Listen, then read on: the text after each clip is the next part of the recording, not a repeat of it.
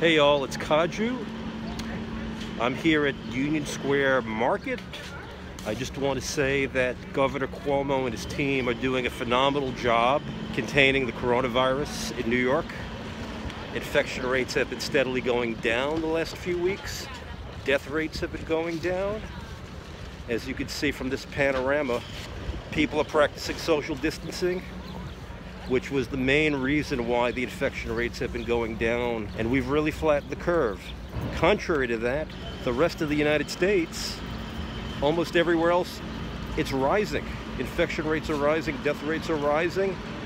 They're expecting that by August 4th, 147,000 people will have died from the coronavirus. It's definitely going up as governments in states have relaxed social distancing measures and have reopened. We're not reopened yet. You wouldn't know it from this scene. This is an outdoor market which is allowed to open, but none of our stores or any of our non-essential businesses are open as of yet.